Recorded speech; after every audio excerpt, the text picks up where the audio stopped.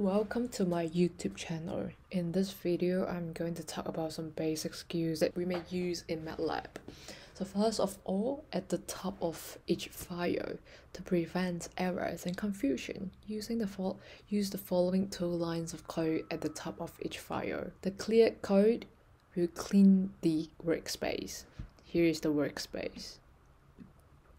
And the CLC code will clean the command windows.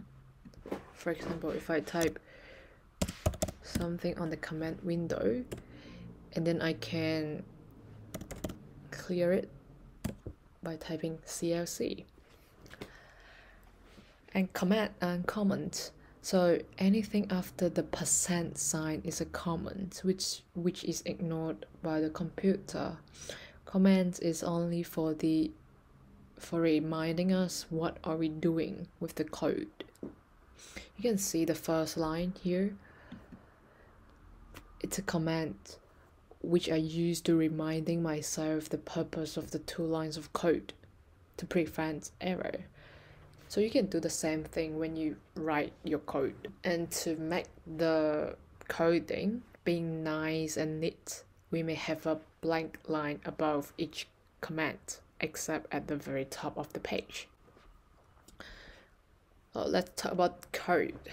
The first code I'm gonna teach in this video is the display function, which can display a message on the screen. So the display function displays on the screen whatever is between the single quotes.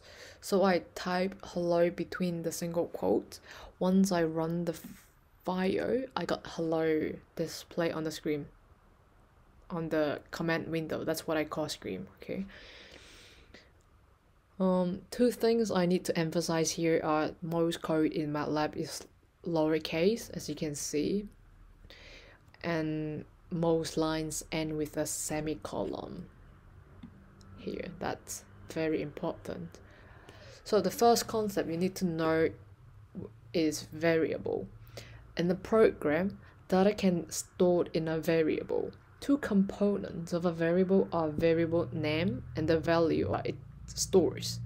So for example, age equals to 18. Age is the variable name and 18 is the value I store in the variable. We can also display this message on the screen by using the display function. Say you want if we want to display the value of the variable, we can display age using this line of code and you can see the value of the age is printed on the screen. So instead of printing the value, we can also print the the variable name onto the screen by using single quotes like this. And then you can see once we run, we get the variable name on the screen. So there are more functions in MATLAB. You can see here if you are not sure how to use a function, you can type help followed by the function name into the command window.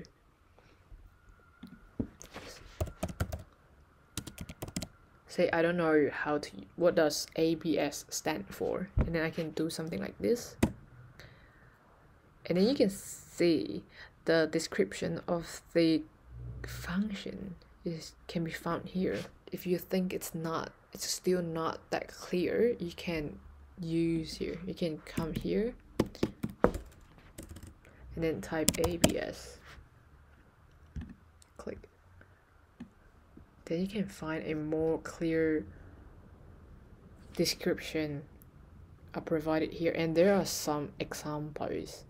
You can see. Basically ABS stands for absolute value right yeah there are more examples you can find here. That's function. After the function i want to talk about um, if statement. And if statement is used to do some actions if some condition is true. For example so if the water temperature is higher than or equal to 100 celsius degree celsius degree display boiling on the screen. That's the condition I want to have, right? So that's what we call if statement.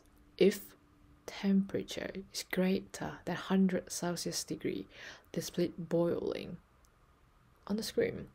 As I assign the temperature is equals to 50 Celsius degree, which is actually lower than 100 Celsius degree. So if I run the program, nothing is gonna display on the window. What if I change the value of the temperature to 150 degree Celsius degree and then run again? Then you can see boiling is actually printed on the screen and that's what we call if statement. So to make the code clearer to read, we use the tab key on the keyboard to indent code inside the if statement here, just to make the code more clearer and easier to read. So when we use if statement, we need to use booleans. Booleans are something I use here. Right, greater and equal to. Some common booleans are listed below, you can see. So uh, one examples of booleans could be here. Here are two variable. The first variable is my English mark, which is 94, and the second variable is my mathematics mark. So the condition is if my English mark is greater than 90 and my mark math marks is greater than 80, then display distinction on the screen. So once I run the program, I got a distinction printed on the screen as you can see my mark is actually meets the requirement of getting a distinction mark.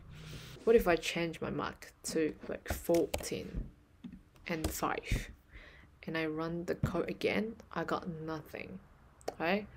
And that's boolean here. That's an example of how you used booleans. Else function. We can use else function to do something else if the condition is false. Here is an example. Let me explain what the code means. So this code is going to print a message depending on whether the number assigned in n is positive or not. If n is greater than 0, positive is going to be printed on the screen otherwise negative is going to be printed on the screen. So as I let n equals to minus 5, once I run a code, negative is going to be printed on the screen. You can change the value of n to see what is going to happen. Right? Negative. If I change back to 5, that's positive, and that's what that's how you use else. Right? Instead of else, like when we have more than one condition, we can use else if. Here is an example. So this code means if n is greater than 0, which means it is positive, and then positive is going to be printed on the screen. Similarly, if n is negative, negative it will be printed on the screen. If both conditions fail, 0 will be printed on the screen. We can now run the code right? I got positive as I let n equal to 6. You can try a different value of n and see what will happen. Let's see, it's minus 6. Yeah, I got negative. If it's 0, I got 0.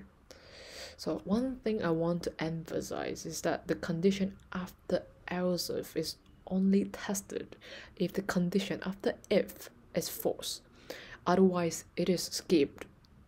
Okay? That's all for today's video. If you think this video is useful smash the like button and subscribe down below. I will upload more short videos about matlab